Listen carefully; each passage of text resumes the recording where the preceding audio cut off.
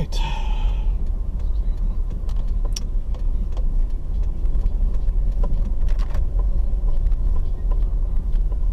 So a little bit of commentary here, uh, whoever you are. Um, so I decided to make maximum use of my lunch today.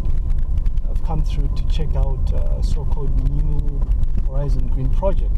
So this housing development, um, just a few, just a few kilometers after the Chongwe Toll Plaza.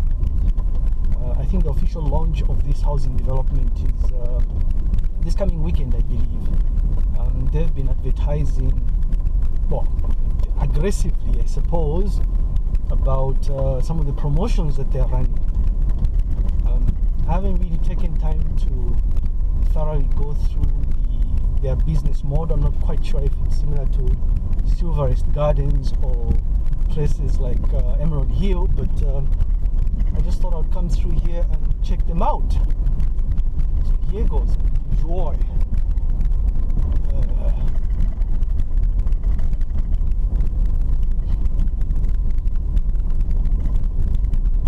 so one of the things I've been wanting to do is to, to draw parallels between, try and compare places like uh, like this one with uh, Kudu Village, the more recent, uh, more recently launched. Uh, what's that place again? So there's a place they call.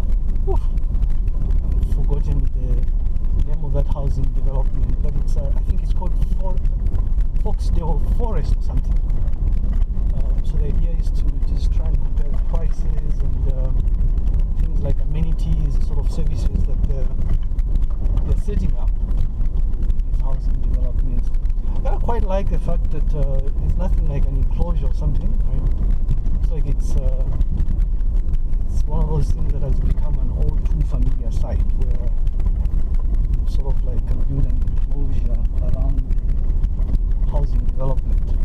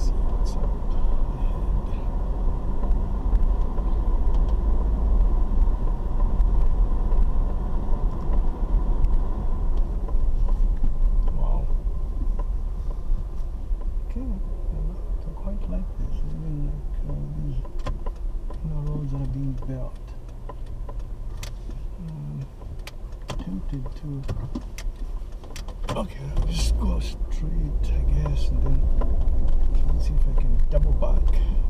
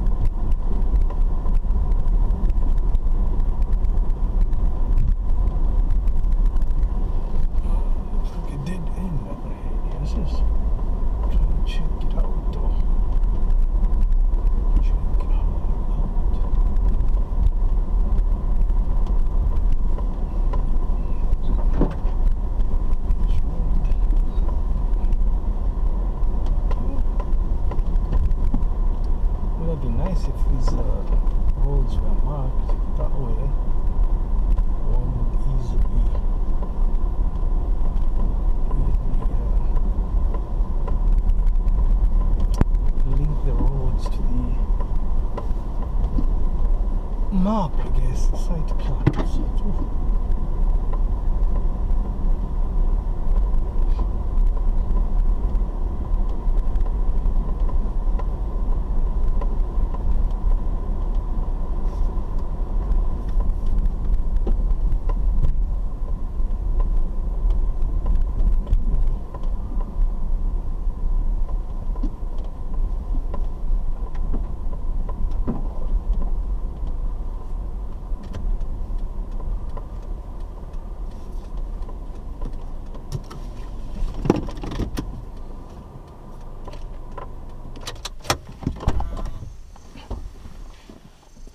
não o maluco.